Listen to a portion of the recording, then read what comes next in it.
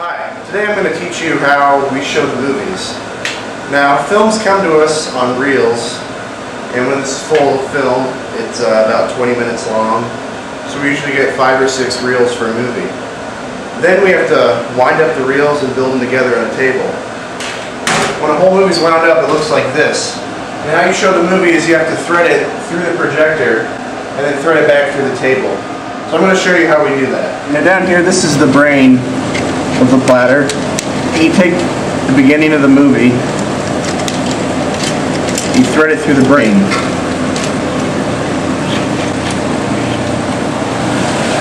Now this is the inside of the projector. If you can see through here. I have to thread the film through certain gears.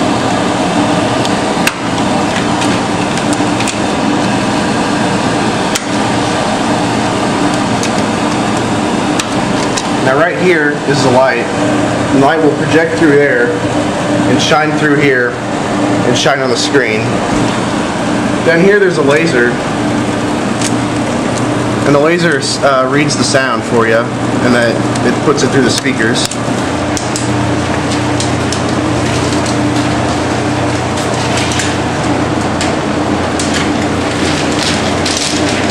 Can you bring end of the film up to your empty platter.